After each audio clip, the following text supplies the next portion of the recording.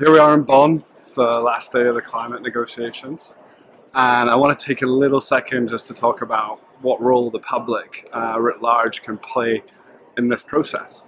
Um, the first is on November 29th, which is the day before Paris talks.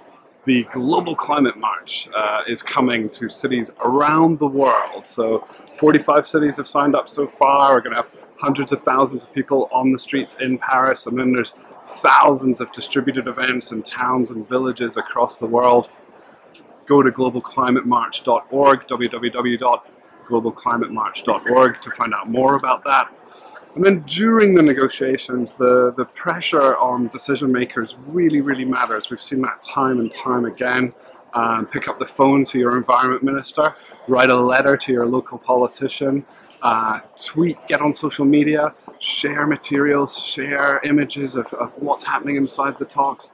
And then the last thing is on December 12th, if you're in Europe, come to Paris and there's going to be a, a, mass convergence and, and, mobilization in Paris on the, the day after the talks.